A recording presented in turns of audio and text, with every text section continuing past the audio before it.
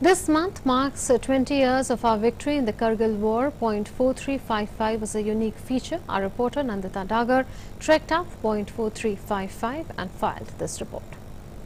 This is the Mushkoh Valley and one of the pivotal points of the Kargil war. This post, point 4355, uh, is significant because the Pakistani army had intruded uh, about 8 to 9 kilometers into uh, the line of control this is the first time that any media house, a media channel, a news channel or a newspaper, any media organization for the first time is come to point 4355.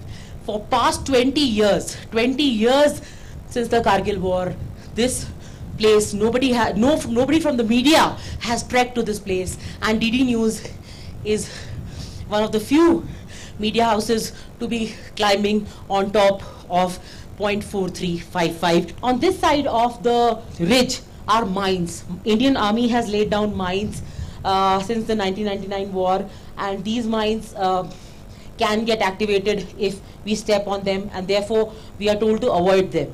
All around you can see the telltale signs of the Kargil war. This is a rocket propelled grenade, uh, an RPG, which is uh, from the Pakistani army. And you can see signs like this, not just mines and grenades, but rocket propelled grenades and other uh, tin boxes of rations and ammunitions, bullet rounds, all strewn all on this mountain top.